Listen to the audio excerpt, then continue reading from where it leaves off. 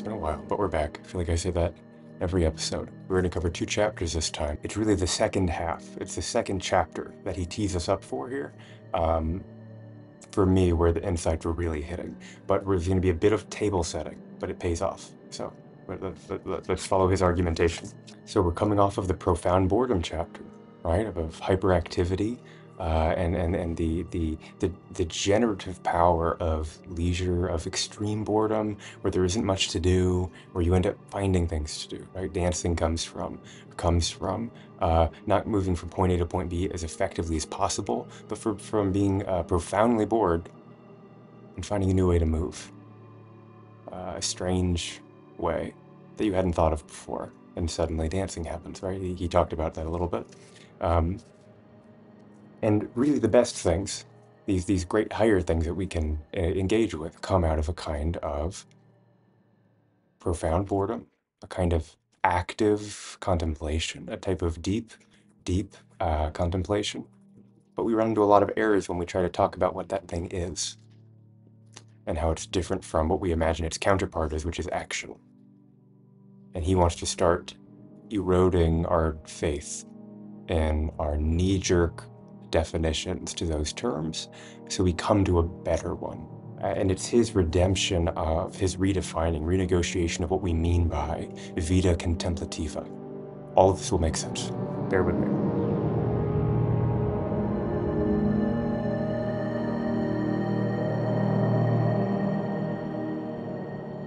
So he starts this chapter here, Vita Activa, by talking about Hannah Arendt. In the human condition, Hannah Arendt seeks to rehabilitate Vita Activa against the primacy a long tradition has granted the Vita Contemplativa, and to articulate its inner richness in a new way. In her estimation, the traditional view has wrongly reduced Vita Activa to mere restlessness, Right? She's saying it's not just hyperactivity, it's got to be more than that. In reality, she says it has a lot more to do with uh, nativity and birth and beginnings. When Heidegger talks about action, heroic action, Byung-Chul calls it, when Heidegger talked about action, who Arendt, he orients it around death. For early Heidegger, death provides the point of orientation. The possibility of dying imposes limits on action and makes freedom finite. In contrast, Arendt orients possible action on birth, which lends it more heroic emphasis. It isn't a thing oriented, leading up inevitably to death. For her, the vita activa is the, the uh, unexpected promise of a birth time, of the beginning of something.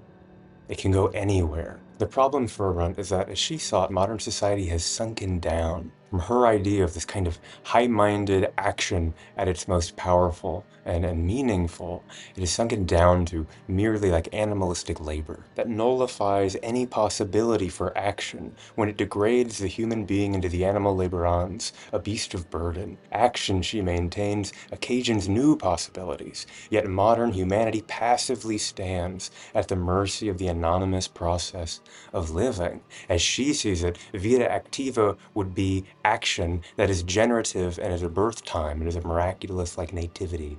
New things are coming, right? And instead she looks around her and she sees a passive resignation to these anonymous processes going on around us. Maybe they're acting, but this isn't the highest form of action. In fact, she thinks that people have become so passive that if you were to look at the world from far, far, far away, our activities would no longer appear as deeds, but as biological processes. Accordingly, for an observer in outer space, motorization would resemble a biological mutation. The human body surrounds itself with metal housing in a manner of a snail like bacteria reacting to antibiotics by mutating into resistant strains. Pretty interesting, right? She's saying we are so just kind of resigned to these anonymous processes, we're not taking control and recognizing our autonomy, that if anyone looked at us from far enough away, it would be like us looking at like a snail who finds a shell, maybe a beaver who builds a dam, which we wager is very different from when we build a dam unless our labor sinks down to what Arendt is so worried about, in which case even motorization, even hopping into our cars, looks like a biological process and not an act of like invention, right? Of reaching beyond the animal. Again, Han doesn't like this, but it is interesting. And this is where Han's critique begins, right? Because for him, it isn't that we give up our individuality and our ego in late modern society. And that's what Arendt's saying. We give it up to be part of this anonymous life process, simple labor on, and animal laborans. Han says it's, it's quite the opposite, really, in late modern society at least. In the achievement society, individuality is fostered what do you mean passive? He would ask her. Our ego is absolutely bursting. In fact, falling back on the on the anonymous processes of life sounds a lot like a nice break. It sounds serene. It sounds like floating on your back in the ocean. I mean, goodness, is that essentially what we're trying to do when we put up on a pedestal the, the flow state? This is like the new TED Talk circuits, right? Everyone began managing their livelihoods in such a way that they get more flow state in. Like, we kind of want to resign to the anonymous process where our individuality goes away, mindfulness. How could it be passive? Far from it, we're hyperactive and hyperneurotic, Says. There must be another answer to why all human activities in late modernity are sinking to the level of mere laboring, and more still, why such hectic nervousness prevails. So he agrees labor has sunken down. This is even something Emerson wrote about in The American Scholar, right, in 1837 uh, when we did that live stream together. But why the hectic nervousness? This is something that has not really been accounted for. For Han, it has a lot to do with this notion of living in the times of this kind of Nietzschean death of God, right? The modern loss of faith does not concern just God or the hereafter. It involves reality itself and makes human life radically fleeting.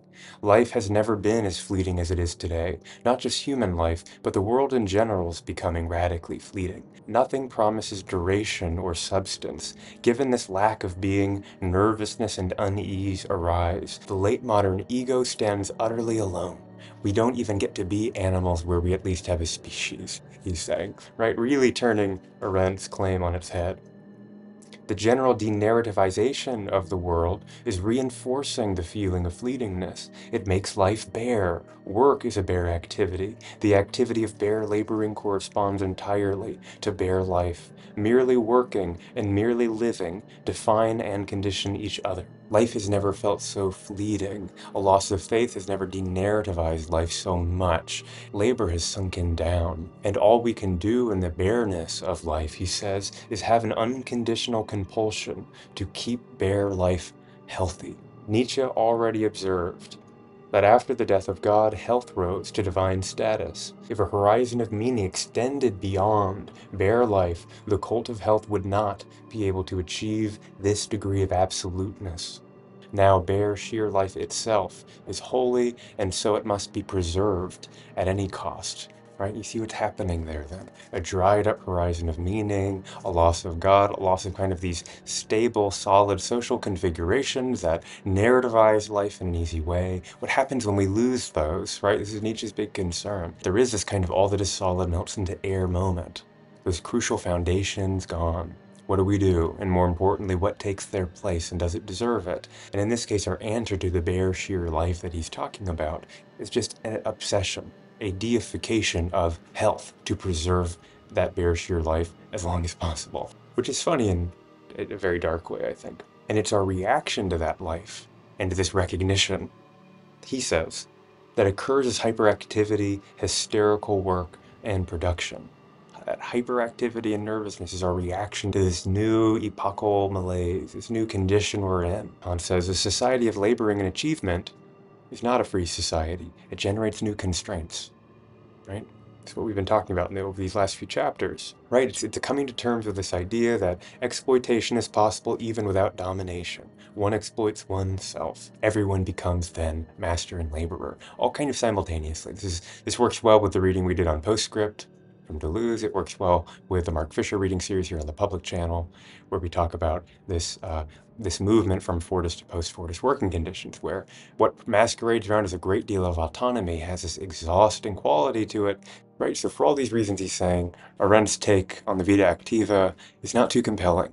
And at the end of this chapter, that's really it. He just kind of punches Hannah Arendt for a little bit and says, it would seem that this emphasis on being active has made things terrible right? It, it, seems like the hyperactivity and hysteria displayed by the late modern achievement subject arise out of this type of imperative. Toward the end of her discussion of vita activa, Arendt inadvertently endorses vita contemplativa. It escapes her notice that the loss of the ability to contemplate which among other things leads to the absolutization of vita activa, is also responsible for the hysteria and nervousness of modern society. What he's talking about here is a quote of Cato that Hannah Arendt has at the end of her book, and she quotes it as a uh, as a kind of crucial defense of the vita activa, there's life of action as she's describing it. But if you look beyond the quote that she snipped out, Byung-Chul Han is saying it's about the vita contemplativa. It's about leisure. It's about sitting around and doing nothing such that we have new things again. Because that imperative to constantly be moving is where we get hyperactivity, is where we get bare life, is where we don't even have the moment to sit and think too long, right? In fact, we avoid at every cost. Think about the if we if we, if we evoke Fisher's like stimulation matrix example, right? It's the it's the I can't go on a walk because I'm always listening to Spotify on a walk. I can't really lean back into the grass because I'm always thinking about what's going on on social media or something, right? I can't even come home and experience extreme quiet because I have my uh, background in TV shows, or I have a series I'm working through, or or all this.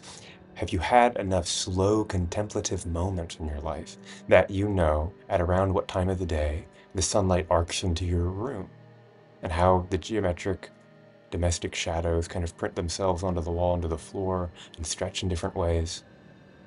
It's around 12, it'll look like that, right? It's around 5 p.m., it'll look like that. Can you kind of get lost in that for no reason at all? Just to do it? And do new things emerge out of that? Unexpected thoughts, unexpected realizations that have nothing to do with sunlight falling into the room, right? Or do we lose all of the potentiality to have those moments by never being in a place where we can have them? And if we are, having that nervous, fidgety anxiety uh, to get out, get out, get out, and get out of it.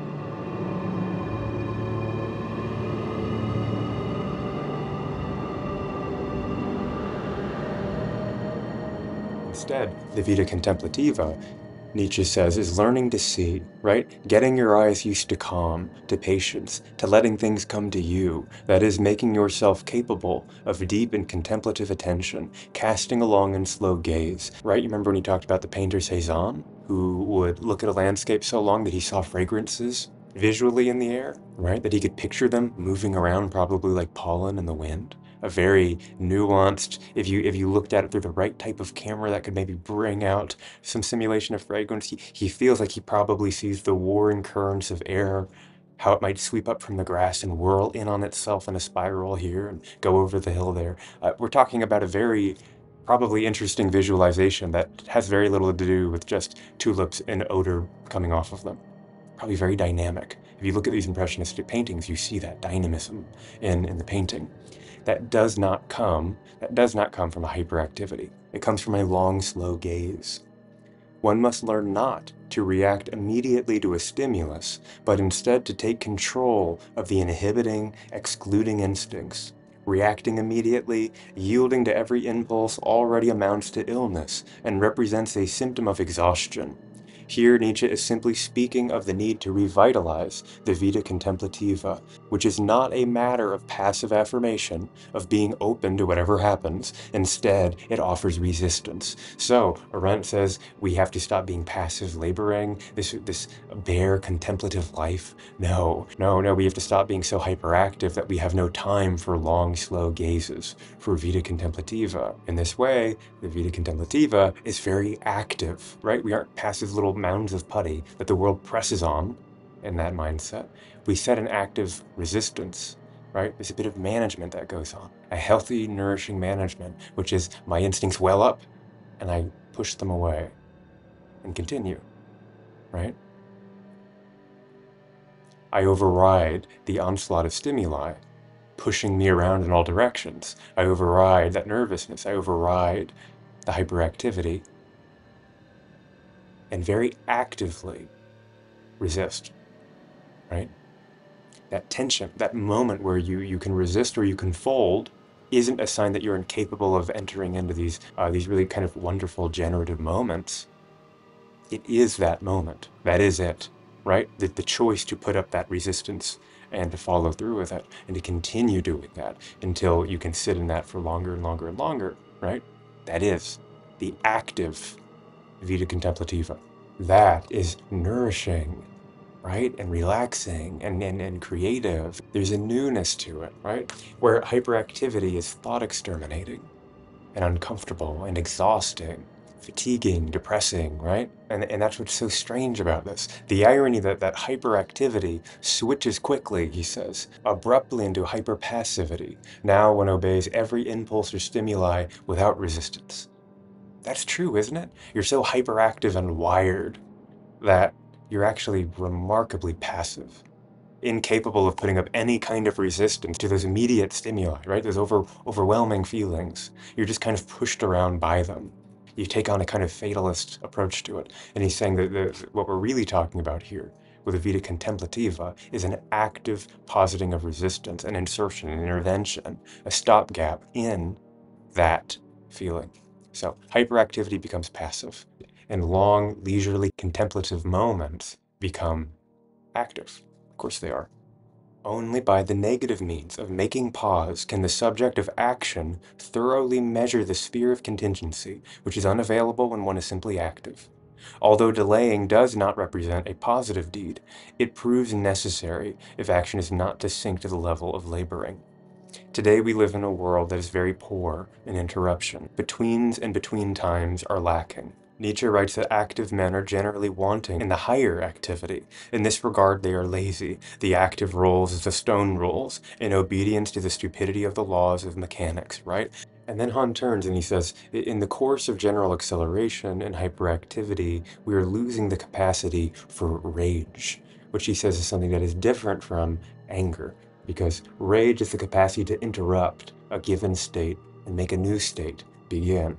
Today it is yielding more and more to offense or annoyance, having a beef, which proves incapable of effecting decisive change, replaying an annoying moment again and again and again and again in your head, and not having a cathartic reaction to it as it's happening, an active resistance to a thing that's going on that you don't like, right? But instead, stewing festering, replaying it over and over and over again, saturating yourself with your own self-referentiality, with your own self-consciousness, saturating yourself with what you could have said, what you could have done, and what you could have, right? This is what I see what he's meaning here. Not, not a moment where rage would break in to be an interruption to that process, and instead of this prolonged, slow annoyance, everything then becomes annoying. In consequence, one is annoyed even by the inevitable. Annoyance relates to rage, as fear relates to dread. In contrast to fear, which concerns a determinate object, dread applies to being as such. It grips and shakes the whole of existence. Nor does rage concern a discrete state of affairs. It negates the whole. Therein lies its negative energy. It represents a state of exception. Increasing positivization makes the world poor in states of exception. Remember, Han's whole argument here is that we are in a time that is oversaturated with positivity, right? We have left behind the immunological age and we have entered into the neuronal age, to the, to the burnout society. No longer is that overarching epochal analogy um, one of contagion and immunology, of the spread of the enemy, of the spread of ideology, of the spread of actual bacteria and viruses that we were concerned about, of the need to keep a country pure from outsiders coming into it, of a need to keep ourselves pure from foreign invaders breaking into us and making us ill, making the country ill, making the world, whatever, right? That immunological fixation is one that is obsessed with negativity knowing what you are in your best state by what you are not, right? Drawing a clear line between that is not me, and if for some reason it ends up in me, it's got to get out of there because I know it isn't. You repel it, you cut it out, you break it out. Not so with positivity, right? When he talks about when he talks about the achievement society being the achievement subject, everything becomes internalized, right? You don't even really have an inside and an outside to distinguish between. When something is going wrong, the locus of that thing going wrong is within you right? You don't just get to vent cathartically at your boss, right? You don't just get to vent cathartically at these external con conditions. All of them are more or less propagated by you. The mandates that are so exhausting are more or less set about by yourself. And you can choose to not do them, but then you will also not have the things you need to be alive, right? So it is this like constant relitigating volition saturation that exhausts, the positivity, right? He says, the fat that cannot be rejected because it is you. When you see the foreign invader, you don't get to pluck it out like you used to be able to. That's you. You're just taking out you. So again, increasing positivization makes the world poor in states of exception. We don't we don't get those moments of disruption, right? We don't get those little moments of, of, of resistance, of a break in the contingency. Remember when he talked about how that positive dialectic broke broke a limit on the level of productivity possible with the older negative dialectic, right? I think that was in video, I believe it was in video, maybe it was in one or two. One might say that overexcited efforts to maximize performance are abolishing negativity because it slows down the process of acceleration. If man were a being of negativity, the total positivization of the world would prove more than a little dangerous. According to Hegel, negativity is precisely what keeps existence alive. And to clean up the language here a little bit, he says, when I say positive, the potency of a positive act, I mean it's your power to go and do something. It might follow from there that if we're in a society of positivity, then it will be a, a yes, you can, yes, you can, yes, you can.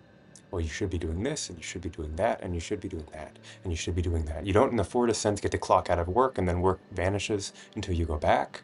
You're at work and you're managing house affairs, and you're at home and you're managing work affairs, if you even have an office to go into anymore, right? So that positive potency is that you can always do something, right? The negative potency would be the opposite the power to not do something power to be able to enter into that long slow gaze to to put up those means of resistance if one had only the power to think something, thinking would scatter among endless series of objects. It would be impossible to think back and reflect, for positive potency only permits anticipation and thinking ahead.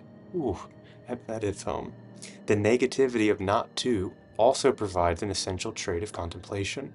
In Zen meditation, for example, one attempts to achieve the pure negativity of not to, that is, the void, by freezing oneself from rushing, intrusive something, right? Such meditation is an extremely active process. That is, it represents anything but passivity. The exercise seeks to attain a point of sovereignty within oneself, to be the middle. If one worked with positive potency, one would stand at the mercy of the object and be completely passive. Paradoxically, hyperactivity represents an extremely passive form of doing, which bars the possibility of free action. It is based on positive potency that has been made absolute to the exclusion of all else. When Fisher settles on the word impotence, reflexive impotence, right? Capitalist realism, there's something there there's something there. Hyperactivity, this positivization of society, of late modern society, makes itself impotent by always anticipating the next thing and moving to the next thing and a saturation that exhausts nothing gets done. Or what does get done may as well not be anything. I'm sure i'm sure you've all been in situations where you've been in workplaces and and and the management seems very disconnected expecting so much that the only thing they'll possibly get by everybody scrambling is half baked. Not really what they're looking for. But it works for the audit because efficiency looks like it's up. We're getting those tasks off the list. Efficiency is up 30%. But what, what's actually getting done what things could look like if people had that negative potency, right? To be able to kind of leisurely sit and think about things and then suddenly what pops up out of that is kind of a radical new interesting thing that could be much more generative and productive. Not that it has to be not that that's the point of it right? The whole point is to not do anything. But this paradox he's pointing at is negativity negativity the ability to not do something isn't passive. Done right it's very active. And that is the vita contemplativa at its highest form for him and for all of the philosophizing and big ideas and big words and big references, that's something we've all felt before, I hope. I actually, I actually don't know that that's true. I, I, I really do know people who I, I wonder if they have been able to slip into those moments of kind of a long, slow gaze ever. I do have people like that where I wonder. But it's all something we can experience. And it comes out of that recognition, this Hegelian recognition. We're going to get into phenomenology of spirit at one point. Uh, my buddy Andrew and I are working through it together behind the scenes. God knows how long it'll take, but we're going to come back and um, we're going to work through that with everybody because it is phenomenal. Wild, wild, wild book. But it isn't negativity good, positivity bad, right? This Hegelian this Hegelian approach that Han is bringing out is that both are, are constitutive of the other, right? Isn't all one or one all the other, but it also isn't, in kind of some what Todd McGowan at least contest or misreadings of Hegel, this really hollow gesture of not this, not that, but right in the middle. not left, not right, but right down the center. The rational center, the enlightened centrist. The power of moderation. That isn't what we're talking about. That isn't what we're talking about. It is instead the baked in contradictions. The baked in contradictions between which we are animated. That encountering some paradoxes at these at these core levels isn't a sign that our that our, our model for understanding something is faulty. We found it. That is the thing, right? You break the magnet in half and it still has an repelling and an attracting side. But that is a whole that is a whole thing. That is a whole thing that we're, we're not going to get into at the moment. But the positive and negative that he's talking about here, they're a counterbalance to one another, right? Not in a moderation is key type of way, but they, they literally constitute one another. And if we're living underneath the overcorrection of one, the monopoly on, on lived experience of one, then we can have these little moments of resistance where we push up against it, flip it around, and bring out that other side of it, right? I don't think I've ever thought or done anything of value in a state of hyperactivity. But it's definitely the state that I'm sitting in for most of my life, despite being very conscious of it and very resistant to it. It's definitely the state I find myself in. And and uh, anyway, I think this is a very practical, very practical couple chapters. And we'll see where he brings us after this. I know he's going to be getting into some Melville it's one of my guys. So the Bartleby case. So maybe we'll read uh, the Melville short story on Patreon, and then we'll come back to the Bartleby case, and we'll begin wrapping up Byung-Chul Burnout Society. It's a tiny little thing, tiny little thing. Okay. Thank you all, uh, especially for your patience with me. I know it's been half a month since I've posted here. I, am very much a subject of the stuff we're reading, so sometimes that makes it hard to get the videos out, but it's always it's always worth it. All right. See you next time. You know what? I, am actually I'm not ready to leave you just yet. Uh, I have a recommendation. If you've made it this far, um, look up Phantom Brickworks. It's an album, and listen to it, and and do nothing. I'm a big ambient guy. We'll we'll we'll, we'll do a video on that one day. Sometimes those things highlight negativity. They they it brings negativity in because it is music that is definitely not hyperactive. You know, ambient music, for those who don't know, comes from Erik Satie's furniture music, a classical musician, a composer. Music that he theorized could just be furniture, like wallpaper. You don't always know it's there. It's always so there that it dissolves into unrecognizability. It's just uh, ubiquitous to the point of invisibility. I think that's Fisher's way of phrasing that. And furniture music is the same way. You can focus on it or not, but it's there and it does set the tone for the room and you know when it's gone, right? There's a kind of negativity, positivity thing in, in ambient music, in good ambient music that I think is worth mentioning. Okay, okay. anyway, anyway.